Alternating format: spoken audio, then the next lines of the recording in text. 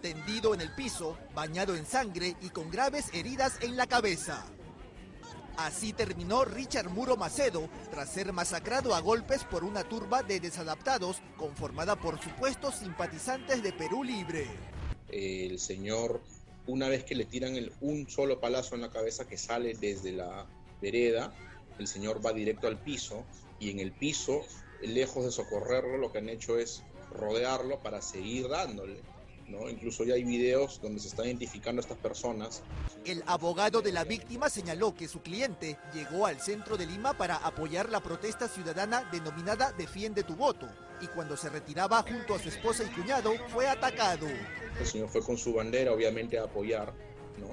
Pero simplemente se está retirando. ¿no? Hoy el estado de salud de este hombre de 56 años es reservado y se mantiene en la unidad de cuidados intermedios de una clínica local.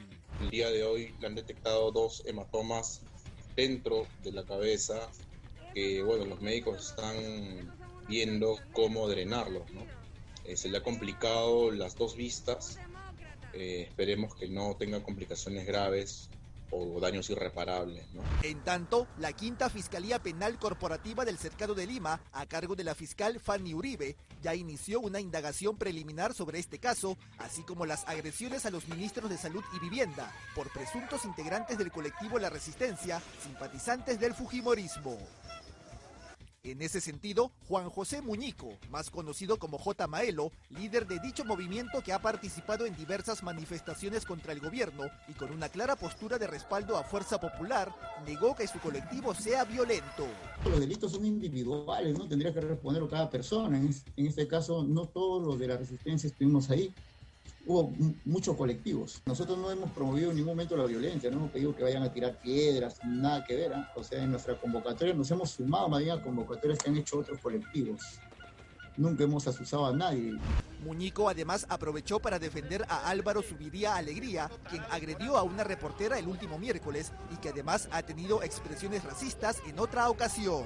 Bueno, ¿qué A ver, quiero verte, pues. Peruano tarado ignorante cholo de mierda. Así, lo digo con toda palabra, con toda letra, cholo de mierda. Él no es como lo pintan, ¿ah? yo lo conozco, no es así. No es así, se ha exacerbado seguramente por toda la multitud. No, es como lo pinta, yo lo conozco al señor y no es de la resistencia. Él ha aparecido en estas últimas manifestaciones eh, de las marchas que hubo los sábados, ahí ha aparecido el recién.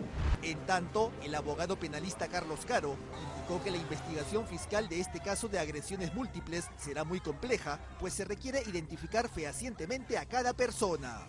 Como la responsabilidad penal es individual y personalísima, la Fiscalía tiene que identificar a las personas que individualmente participaron, con nombres y apellidos, citarlos, darles derecho de defensa y tras ello verificarse que son ellos los que realmente han generado estos daños. El Ministerio Público ya solicitó las imágenes de las cámaras de seguridad de la zona de los incidentes, aunque el abogado de Richard Muro aseguró que el 70% de las videocámaras del centro de Lima no funciona.